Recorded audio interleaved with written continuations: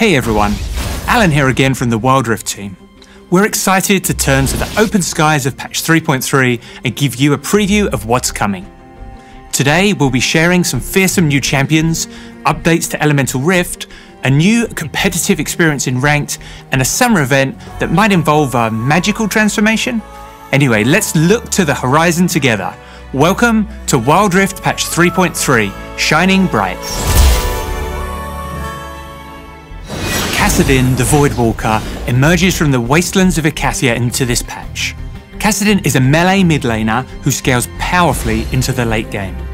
His passive, Voidstone, shields him from magic damage after casting a spell near an enemy. His first ability fires a null sphere that briefly silences your target. If you're facing an enemy that relies on casting spells to deal magic damage, Kassadin might be the pick for you. His second ability, Netherblade, empowers his next attack. You'll gain range, deal bonus damage, and restore mana if you hit a champion. Netherblade's cooldown resets on killing its target, so it's a good tool for securing farm in lane. Kassadin's third ability, Force Pulse, deals magic damage and slows in a cone. It becomes more powerful after spells are cast nearby, so be sure to stack it up to make the biggest impact. His ultimate, Riftwalk, strikes fear into the hearts of squishy champions everywhere. Kassadin blinks to a target location and damages nearby enemies. Casting it again within a few seconds deals more damage but costs double the mana. You'll have no problem taking down any teamfight stragglers as long as you keep an eye on your mana bar. Now we'll leave the void behind and visit the ferocious land of Noxus. Samira, the Desert Rose, is here to amp up your style in the Dragon Lane. With a mix of melee and ranged attacks, Samira is for players who want to take risks and look good while doing it. Her passive, Daredevil Impulse, lets her stand toe to toe with other champions. When she's close enough, she'll change out her pistols for a short range blade attack, which deals bonus damage. When she attacks an immobilized enemy, she'll dash into range. If they're airborne, she'll knock them up for a few extra seconds. Samira's first ability, Flare, fires a single shot, but if there's an enemy in front of her, she'll slash out in a cone instead. Her second ability, Blade Whirl, creates an area around Samira, destroying all projectiles. It's the perfect tool to escape from a sticky situation. Save it for enemy crowd control and you'll get away scot-free. Windrush, Samira's third ability, allows her to dash towards an enemy champion or structure, slashing everything in her path. Samira can cast other abilities during her dash as well. Samira's ultimate, Infernal Trigger, is a real showstopper. It has no cooldown, but you'll need S-grade style to pull it off. Stack up style by dealing damage to champions with different abilities and attacks. Each unique source grants a stack. At maximum stacks, it's time to unleash your full destructive power. Samira can't cast Blade Whirl during Infernal Trigger, and it could be interrupted by crowd control, so make sure you have a clear shot. Samira also comes with something special to flex on your enemies. When you use an emote, you'll throw them one gold. Try it out if you're feeling generous or just to brag about your first blood kill. Sion the Undead Juggernaut rises once more. If you've got an axe to grind in the Baron lane, try out this unstoppable force and lay waste to the rift. Sion's passive, Glory in Death, allows him to keep fighting from beyond the grave. When he dies, he'll briefly come back to life, fearing nearby opponents. He gains lifesteal and tenacity, and his abilities are replaced with Death Surge, which grants move speed. His health quickly decays over time, so use your extra seconds wisely. Sion will also gain bonus health whenever he kills a unit or gets a takedown on a champion. His first ability is Decimating Smash. Cast once to start channeling the swing of your axe, then cast again to bring it down. Channeling for long enough will change your slow into a knockup. Soul Furnace, Sion's second ability, grants a shield that will explode with a second cast. His next ability, Roar of the Slayer, deals magic damage, slows, and reduces the armor of the first enemy hit. If it's a minion, they'll be knocked back, applying the same effects to all enemies in their path. Follow this up with Decimating Smash to easily set up a gank on your enemy laner. Sion's ultimate, Unstoppable Onslaught, makes him a fearsome initiator. Cast to charge forward in a target direction, but choose wisely. You can move during your charge, but you'll turn very slowly. When he collides with an enemy or terrain, he'll slam the ground to deal damage and knock up in an area. The further Sion moves, the longer the knock up, so rush in from far away to hit the hardest.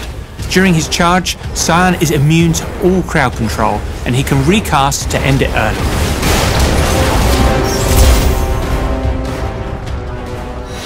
Over the last few patches, we've been testing versions of Elemental Rift as a game mode. We've tried a few different things with Dragon Spawns, Elder Buff, and Dragon Souls in preparation for our full release. Now, we're excited to tell you that Elemental Rift is here to stay. In the Shining Bright patch, this update will spread its wings and officially become the default map for all game modes on Summoner's Rift. Hey everyone, Adnan here from the gameplay team. We've had a great time hearing your feedback through our testing period and the team is excited to share the full release of Elemental Rift with all of our players. In our full release, we're updating our Dragon Slayer buff with a new effect to reward you for taking more dragons over the course of a game. As before, on each dragon kill you'll gain its respective elemental buff. In addition, killing multiple dragons will multiply the power of all of your elemental buffs. Take down more dragons to stack it up and get even stronger. If your game goes long, you'll see Elder Dragon spawning late in the game as usual. If your team needs a super powerful buff to secure your victory, you'll want to pick up its true damage and execution effects. And of course, what would Elemental Rift be without taking full advantage of the infernal, ocean, and mountain terrains, changing the shape of the map to match one of the elements. This will happen after the first dragon kill, so you'll see those effects in almost every game. Our work still isn't 100% complete, this version of Elemental Rift satisfies a lot of our goals, but we think there's still plenty of opportunity for us to explore. You can expect additional tune-ups and changes in future releases. That said, this update has been in progress for a long time, and we're excited to finally make it official. Let us know what you think of the new Rift in the comments. Let's take a look at the gameplay updates coming to the Shining Bright patch. We always want to make sure that every champion feels relevant and good to play no matter when they were released. We have some small changes to share in the upcoming patch notes that will bring a few of them up to speed. We'll be looking to do this more often through the rest of 2022, so keep an eye out for light adjustments that will help every champ continue to hit our target experience. Long cooldowns on ultimate abilities make them feel slower than they should, we want to give everyone better opportunity to make their plays and carry their games. Champions like Galio, Amumu and Rammus have especially long ultimate cooldowns. So we're reviewing every ultimate in the game and adjusting ability haste across all champions. Overall, we hope that this helps keep every champion exciting to play in fast-paced games. This patch, you'll have a bit more flexibility with your boots enchantment, we're introducing active item swapping, so you can use the shop to change to a different active without selling your boots. This costs a bit of gold and puts your active on a short cooldown. With that, we're bringing new enchantments to the shop. Use Repulsor enchant to knock back enemies in a small area around you. If you're a marksman trying to survive enemy assassins, it's a great pick for self-peel. This is also a good option for tanky initiators like Malphite, if you'd like to split up the enemy team after going in. Magnetron Enchant is for champions who want to stick by their carry. When activated, you'll dash to an ally and taunt a nearby enemy. For supports like Leona or Rakan, this will allow you to create even more space for your duo laner to move freely. Quicksilver Enchant is getting an update. Now, it grants a brief window of immunity to crowd control, plus a bit of tenacity and slow resistance. This will make Quicksilver slightly easier to get value from, with a longer immunity window to use. We're also making a change to Gargoyle Enchant. Instead of boosting your maximum HP, you'll gain a shield that decays over a short period of time. Its value will be larger if there are three or more enemies nearby. The previous iteration of Gargoyle Enchant didn't feel as impactful as we'd like, so this will be a more noticeable tool for tanking extra damage. With all these changes, we'll be removing Shadow's Enchant.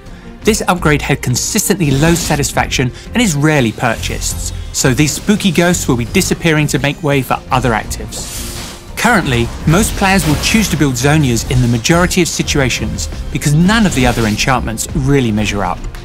We want to make sure that you always have a variety of useful options to play with, so we hope this item update creates some competition. We have a major update to the ranked experience this patch. With several seasons now under our belt, we've heard from a lot of you that you're looking for a more serious challenge that really allows you to test your skill. In Season 6, we'll be introducing Legendary Ranked, a solo only, point based queue. Players who are Diamond and above will unlock it, and they can jump in to earn points and advance through six tiers. For those who hit the Legend tier, individual player rankings will update in real time, so you can really see how you're matching up. Of course, you'll get more than a bit of glory. Legendary Rank Q players can unlock exclusive items and an extra skin augment to show off their climb. Legendary Ranked will have the same season cycle as the rank system, but it won't be immediately enabled at the start of Season 6. We want to ensure that the pool of players is large enough for a healthy matchmaking experience, so it'll kick off slightly later in the season. The queue will only be available at certain hours to ensure you'll be able to find matches during those times. By restricting the queue to when a larger number of players are looking to compete, our matchmaking system will be able to get you into games more consistently. We're making some adjustments to how ranked works so we can better serve all types of competitive players. We're aiming for ranked progression to feel smoother overall, so ranked marks will now apply to all tiers of the current ranked queue, including Diamond Plus. Provisional games will also be removed. We're also introducing new ranked missions and rewards. When you achieve a rank for the first time, you'll unlock a bit more content to support progress in your rank journey. This ranked update is a huge moment for us to celebrate your accomplishments, and we're excited to hear your feedback and continue to improve the competitive experience. In all the excitement, we have our next glorious skin to share with you. For Season 6, Glorious Crimson Fiora is making her grand challenge. Play ranked to collect her from the Season Rewards tab. If you prove yourself a worthy opponent, you can unlock her golden weapon augment in the ranked store. Just make sure you know what you're doing with that sword. Is this supposed to be a challenge? We hoped you enjoyed exploring the world of Dreamscapes in the last few Wild Passes. Now, we're leaving the mysteries of the mind for the distant sky.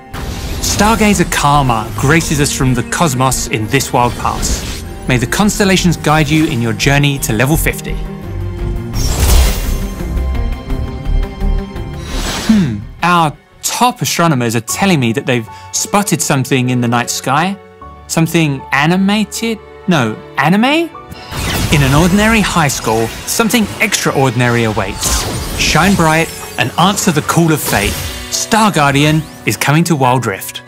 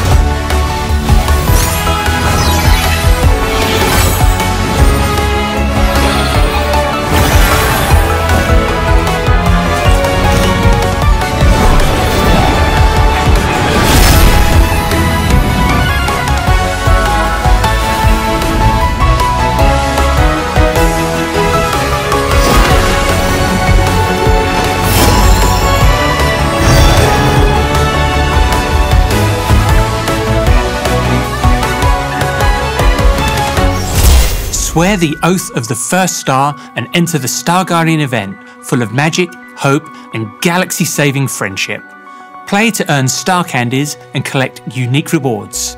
And maybe you'll encounter something adorable or terrifying.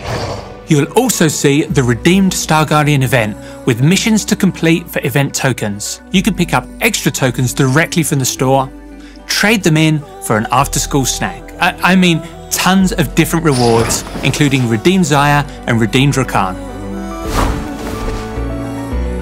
Guardians will be coming together across some of our other Runeterran games as well.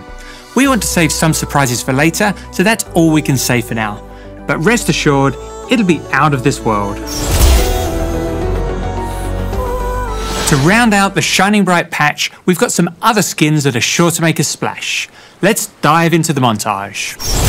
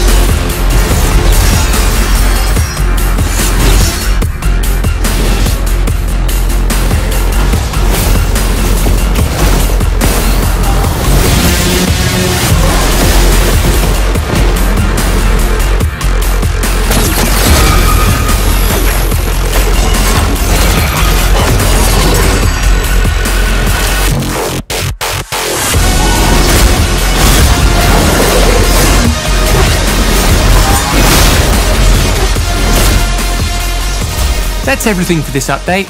Whether you're in the mood to flex your skills with our edgier champions or dive into a story of starlit fate and friendship, we hope you're excited for the Shining Bright patch. Thanks for listening and see you on the Elemental Rift.